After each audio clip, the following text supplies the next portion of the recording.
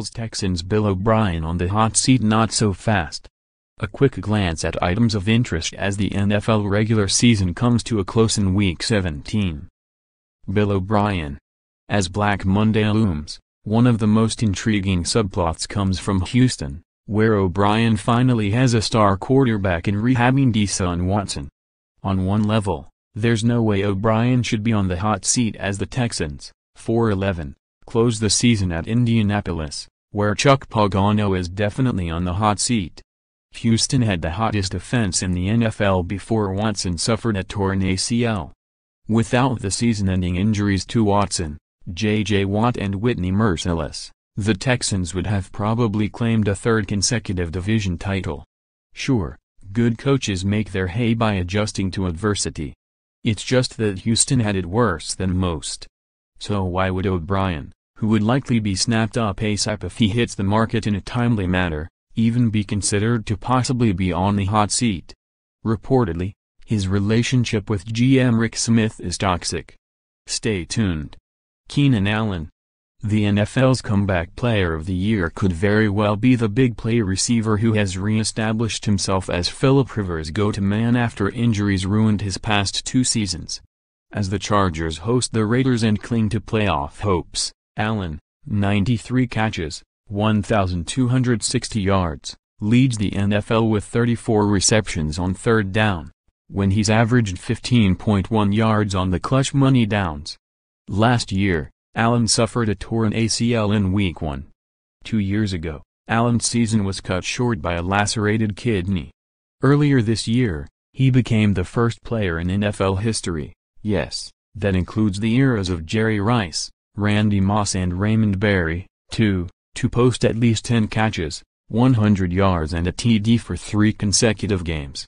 Now it is time to rank the Cal's product among the best receivers in the league team needs, the whole's non-playoff squads must address Week 17 picks. Our NFL experts pick the game's five matchups to watch. Can Cam Newton knock Falcons out?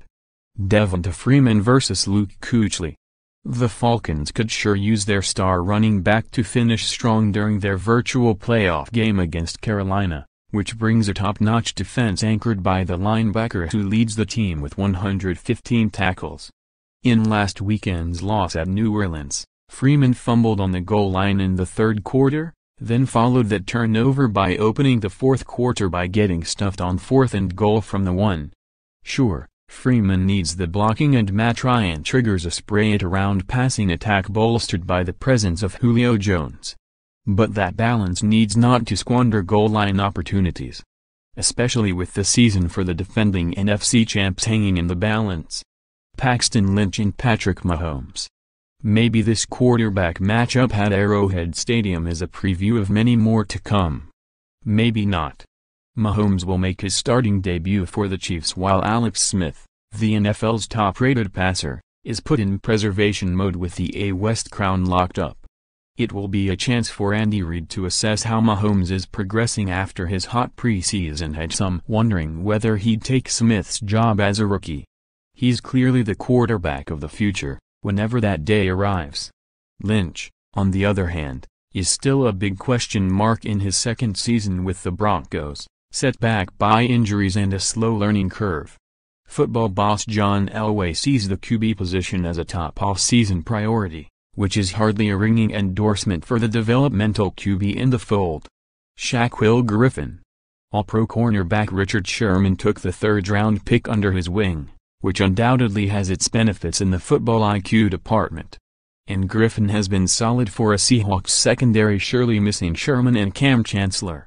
The fresh test, though, will likely include some matchups against wily veteran Larry Fitzgerald in the must-win game against Arizona, which has won three of its past four games at Seattle.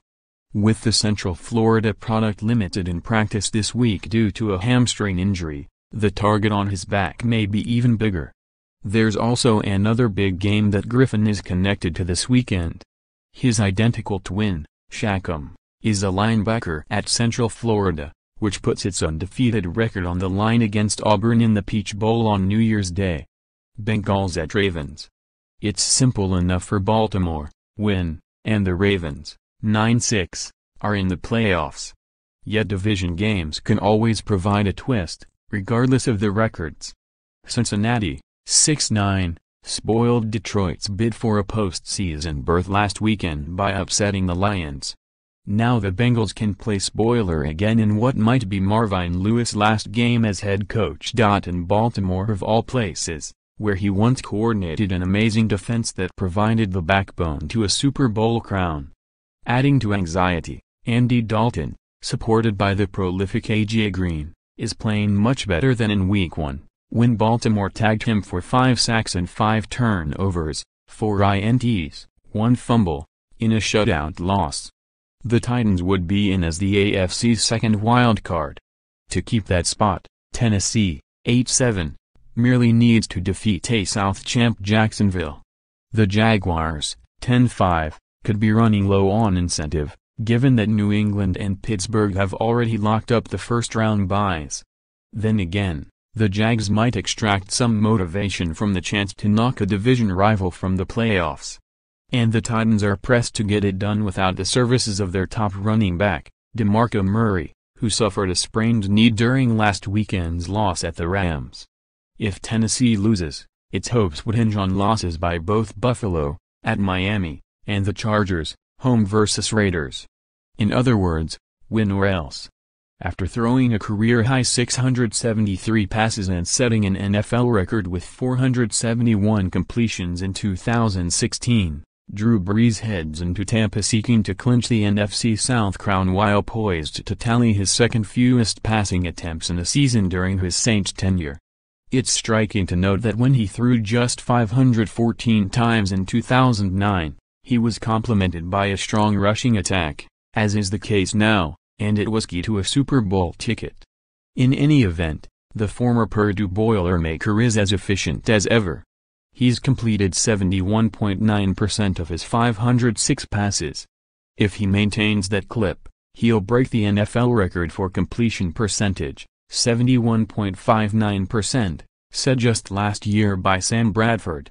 Todd Gurley may not close the regular season with a rushing title, but there are bigger goals in sight as Rams coach Sean McVay has already declared that with the NFC West crown seized, He'll rest his star running back for Sunday's game against the 49ers.